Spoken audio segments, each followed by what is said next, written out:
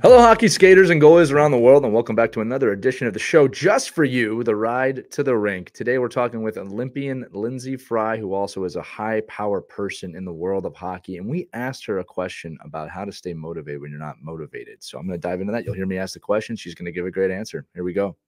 So, Lindsay, we're talking directly to the kids right now in the cars riding to the rink. They want to hear from you uh, maybe they're going through a little bit of a time period here where they're not feeling as, as motivated as they want to feel in the game. What is your advice to a young kid that's feeling maybe a little burnt out or a little questionable about playing hockey? How do they stay motivated and move forward? Well, the first thing I'd say, you're not alone. Um, I, I, think people like look at the pros and just assume that they're motivated all the time. They're not. Mm-hmm. I was, I got extremely burnt out in my college years, my Olympic years, like it's it's it's a lot. This is this sport will suck a lot of it out of you. So just just know that you're not by yourself. I think there's a difference between motivation and commitment though. So you're not going to feel motivated every day. Nobody does. Nobody ever will. But the commitment that you make to yourself, to your teammates, that you're going to show up and you're going to give your best every day, that's really what has to keep driving you forward.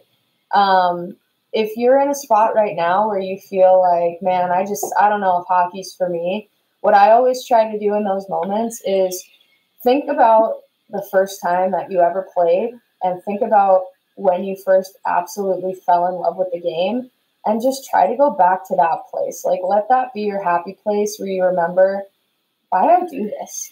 And if if you're getting stressed out about, oh, I've got to win, oh, I've got to get recruited by colleges, oh, I'm not getting along with this teammate or that teammate, or my coach is yelling at me, like, the best thing you can do is block out all that noise and remember why do I love this game? And I'll tell a quick story. Like, I was so stressed trying to make the Olympic team so stressed every single day. Like practice was not fun for me. I was worried about am I going to get cut? Is coach going to get upset with me? Am like am I even going to make the team? What's you know, it's just constant anxiety and stress all the time. And I finally right before like final cuts were going to get made, I was like, "You know what? I'm here like training with the Olympic team. Like what uh, that is the what I wished for every time I blew out my birthday candles as a kid. It's all I ever dreamed about, and I'm here and I'm doing it. So you know what? Regardless of how this goes, I'm gonna just enjoy this, and I'm gonna. And all of a sudden, I started having fun. And all of a sudden, when I started having fun again, I started playing my best hockey that I had played in years. So I think my biggest thing, if you're going through a period of burnout or questioning whether or not you want to keep playing, recognize that you're not going to be motivated all the time, and that is perfectly okay. All right. And recognize that you play this game for a reason, and it's because you fell in love with it whenever that was for you.